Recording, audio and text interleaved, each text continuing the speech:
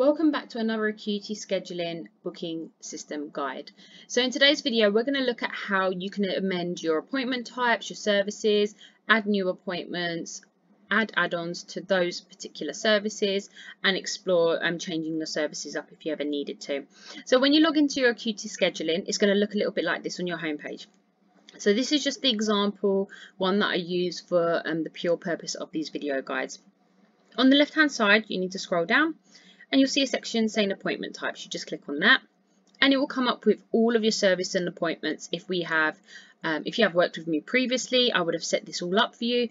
Um, if you're starting from scratch it will obviously obviously show as blank. So I've got an example um, service here. So we're using um, facial for as an example. Um, but there's multiple options of what you can do. So for example you can add a new service you can edit the current services you have by clicking edit and you can duplicate them and amend them from there if you wanted to. But we're going to create a new service to add into these um, list of services. So we're going to add um, an express facial, for example. So you click up here, new type of service, and it's going to add a new um, opening up of a, um, se separate section where you can add your new service.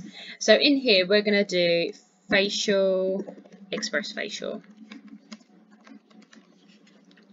in the description. So you can add a description if you want to. Just a little bit explaining the facial. So this facial is a full a full steam and extraction for example with mask. So you can add a description just of obviously of what's included in the service. You've got little tips here that um, give you anything that you need help with. So once you've added your name, your description, there's the duration. So how long is the appointment for? So this is an express facial, so this is a little bit um, quicker. This is a 20 minute facial we're going to do it for. I don't know anything about facials, so please um, do not um, take my word for this of this information I'm providing. This is just solely an example of how you can go about editing um, your services.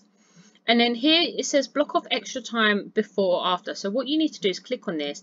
So if you want time before or between each appointment. You'll notice in your current services, if you have services already that you're amending, that you might have something here or something there. So what I always do is I always like to put 10 minutes before or after, just so that, of course, you have 10 minutes in between each appointment. So if you put 10 minutes before the appointment. What this does is for every appointment or service that you have, if you add this number, it will give you 10 minutes before that booking starts to prep, have your um, your tools ready, um, prep for your new client to come in. So it gives you perfect amount of time to then prep so that you're not rushing around while they're waiting for you in the waiting room or while they're in the beauty chair, for example.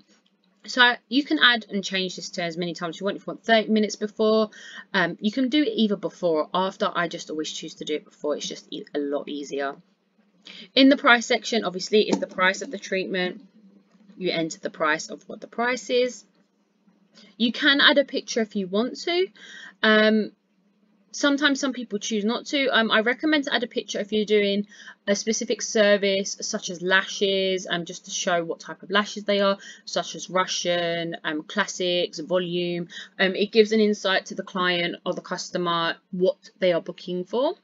And then you've got access here so clients can book on your scheduling page or you can make it private, but we're going to make it just public. Once you're done, you click create appointment type and as you can see, this has added my Express facial. Now, just say I wanted to go into that because I wanted it a different color. So as you can see, they're both purple at the moment. So I wanted it a different color. So when it appears on my calendar, I can identify what it is. Just go back to it and click edit. If I scroll down, now the color bits appear.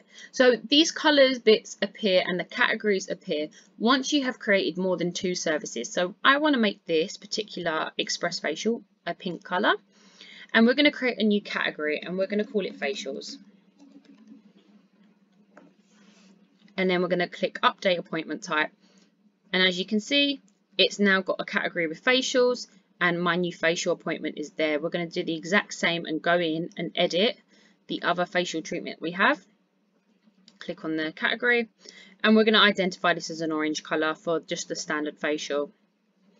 And as you can see, that updates itself has the information on this. Anytime you need to edit this, you can go in and edit this. Up here you have new type of group or class. So you can go ahead and um, create a group or a class to where if it's a group event, so this is if your booking system, for example, is like a dance class, has to book people in, max number of people that can get booked in. Um, this is the only difference in this um, section. The rest of the top bit is the same pretty much of what I demonstrated before, just the bottom bit is slightly different in regards to if you have a class or not.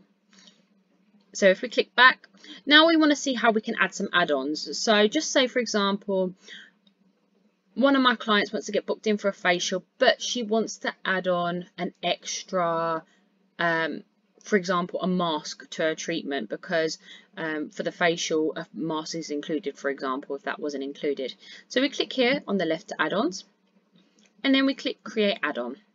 Now what this does is we can then add all the information. So first you put the name, so we'll put um, mask. Additional price for the mask, we'll put £5 for example additional duration, so how long it will take during that sort of time for the mask application, sort of when it dries and peeling it off, so we'll put 10 minutes.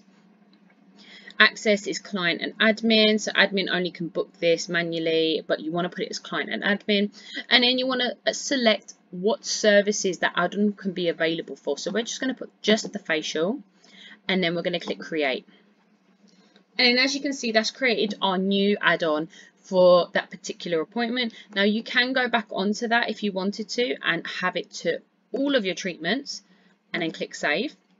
And what that does, that allows you to then add add-ons and you can do this for as many treatments as you like. So for example, if you wanted to create um, a different type of mask, so what we can do is duplicate this and then name it as a jelly mask, for example.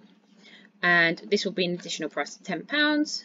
This will be for 15 minutes and it's available for all services. So if you click save again, as you can see, it's available for all appointment types. So when a client does go to book in an appointment, these options will then appear before they go into their consultation page or their payment page and then they can then add any add-ons that are relevant to them or what they would want for their treatment.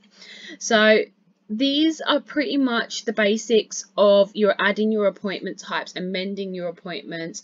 Um, if you wanted to duplicate them, you can. If you wanted to send a direct link, you can also send a direct link for that specific treatment to a specific client if you wanted to. But that is pretty much the basics of your appointment types. It's pretty straightforward. And um, the add-ons on the left, you have the coupon section here, which I have got in a separate video in my YouTube page. So if you have a look, there will be a video on coupons. But if you have any questions, please leave a question in the comments and I'll try and get back to you as soon as possible.